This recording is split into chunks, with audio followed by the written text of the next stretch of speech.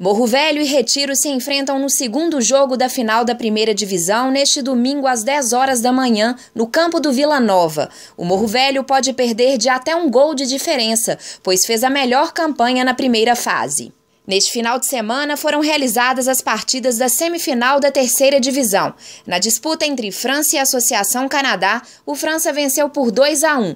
E no confronto entre União Canadense e Bola de Fogo, União Canadense garantiu vaga na final, vencendo por 2 a 1.